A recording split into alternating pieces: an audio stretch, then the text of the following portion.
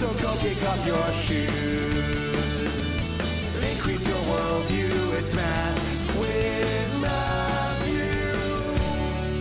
X equals three. For those of you that have been watching my video blogs or listening to any of my podcasts, you know that I have talked a lot about the belief that some students have that they can't do math or they don't ever want to do math. And it's something that I believe that we as teachers really need to focus on. However, there is a new initiative that has come out through Amazon Education and TenMarks Math software, and it's called With Math I Can.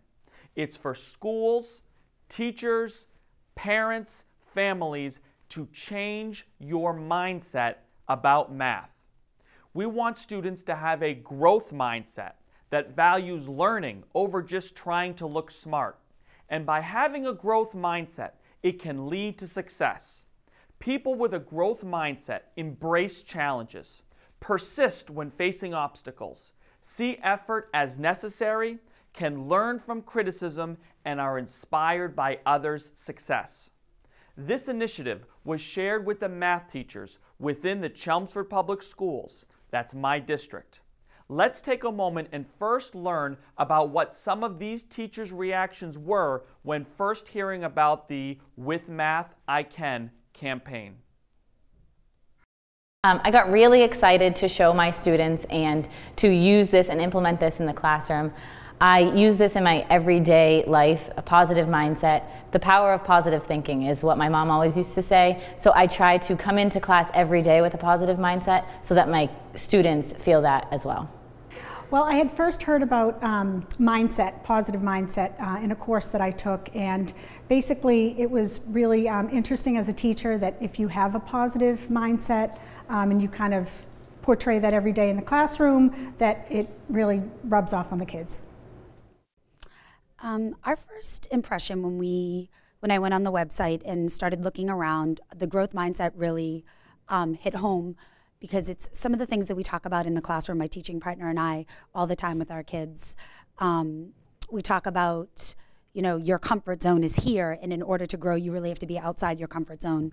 And what does that look like? And that means that you're doing things and trying new strategies and problems that are really challenging for you and kind of set you apart um, and that are uncomfortable for you.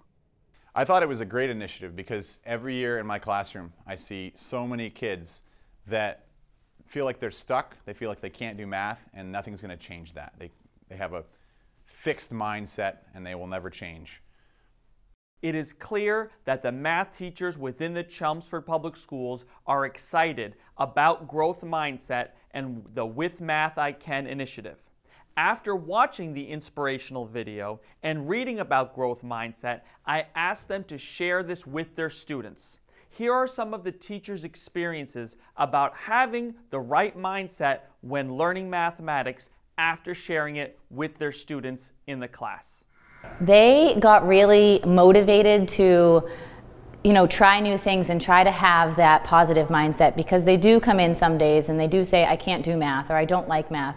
And so they really got excited to see other students feeling that way, but changing their outlook on math itself. Well, I think the first impression was that they thought it was a little sad.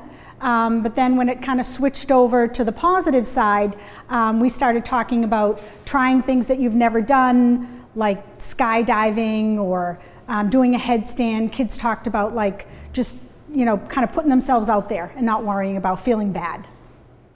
It fit right in with what um, my teaching partner and I teach and talk about the kids every day.